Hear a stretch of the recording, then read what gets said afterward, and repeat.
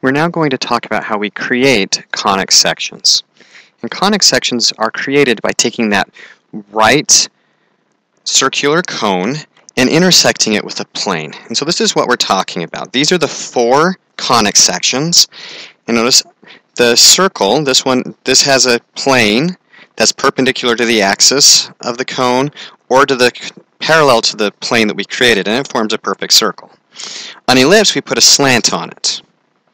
And so with the slant, we get a, it's still circular, but it's more of an oval than a pure circle. A parabola, notice it just cuts along just right this portion of the cone, and it keeps going and going.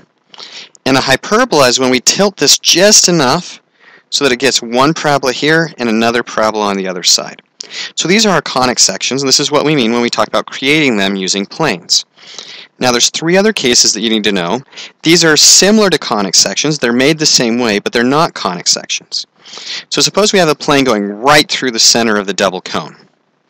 That's a point, and it's a degenerate conic section because it's just a point.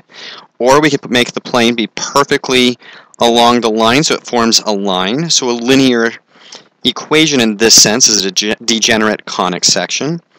Or we could get it so it takes both of them perfectly through, and it intersects at that point, but we get two lines. So these are examples of degenerate conic sections. And this is what happens when you don't set up your conic section correctly. But this gives a visual representation of what these conic sections mean.